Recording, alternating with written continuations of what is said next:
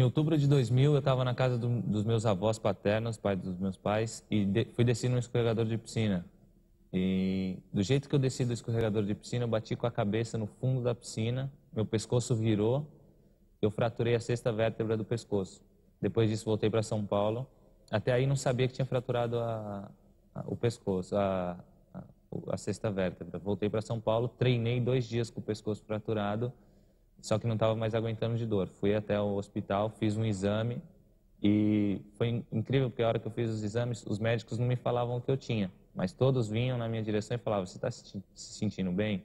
Está tudo bem? Seus braços não estão formigando? Suas pernas não estão formigando?" Eu falava: "Não, me sinto muito bem, estou me sentindo muito bem." Bom, quando o doutor me disse o, o diagnóstico, eu fiquei fiquei assustado também, porque eu falei: caramba, quebrei o pescoço. E as notícias que, que eu tinha de criança, que alguém quebrava o pescoço, é que ficava para, paralítico, paraplégico. E foi, na, na hora veio aquele pensamento, né? será que isso pode é, impedir que eu, que eu volte a jogar futebol? Eu sempre vivi a minha, minha vida por objetivos, sempre coloquei metas na minha vida. E naquele momento foi um momento onde eu estava ali ficava muito tempo sem fazer nada, porque eu não podia fazer nada. Só ficava com o colete cervical no pescoço e não podia fazer nada. E num daqueles, num desses dias eu escrevi algumas metas que eu queria para minha vida, para minha carreira.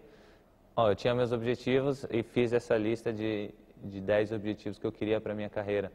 Num período de tempo que eu não sabia quanto tempo, mas eram metas que eu queria alcançar. Então, meu primeiro objetivo era voltar a jogar.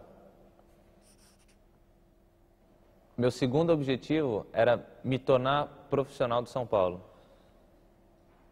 Meu terceiro objetivo era fazer parte do, do grupo de 25 jogadores do, do profissional. Depois de, de estar entre os 25, meu objetivo era estar entre os 18, ir para os jogos, participar e ficar ali, acompanhar, indo no banco e, e, e aprendendo. Depois de fazer parte dos 18 jogadores, que ficavam no time, meu quinto objetivo era me tornar um jogador titular de São Paulo. Naquele ano, em 2001, tinha o Mundial Sub-20, que foi na Argentina. E era um dos meus objetivos. Eu nunca tinha sido convocado para a seleção brasileira. E aquele era um dos meus objetivos, participar da seleção é, amador.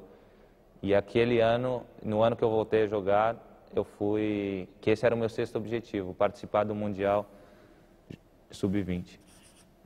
Depois de participar do Mundial Sub-20, eu queria ser convocado para a seleção principal. Então, claro, o jogador quando cresce, é, a seleção é muito importante para um jogador. Então, é, a, é, o reconhecimento daquilo que você faz no seu trabalho e poder defender o seu país é muito, muito legal. É uma honra, realmente. Então, meu sétimo objetivo era ser convocado para a seleção principal. Depois de ser convocado para a seleção principal, eu tinha o objetivo de me tornar um jogador titular da seleção. Então, gostaria de, de fazer parte. Convocação é uma coisa, você fazer parte do grupo da seleção é outra. O Brasil tem uma variedade, um número de jogadores muito grande. Então, tem sempre jogadores sendo convocados, jogadores aparecendo.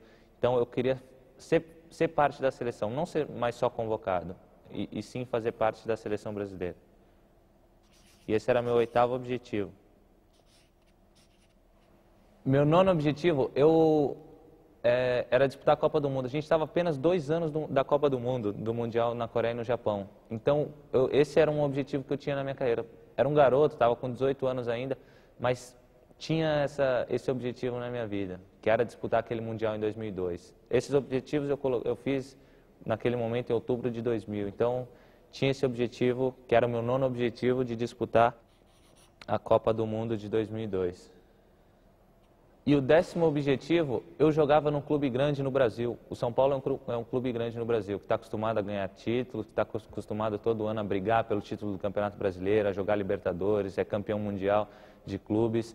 E eu não gostaria de sair, porque muitos jogadores brasileiros saem para jogar num clube pequeno na Europa. Eu gostaria de sair para jogar num grande clube europeu. Gostaria de sair para jogar na Espanha, na Itália ou na Inglaterra. E esse foi o meu décimo objetivo. Gostaria de sair para jogar num grande clube europeu e sair para vir jogar no Milan. E eu diria que o décimo primeiro, ganhar a Champions League.